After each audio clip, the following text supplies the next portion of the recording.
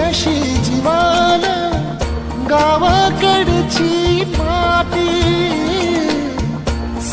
घालती पुन्हा नव्याने तीरटा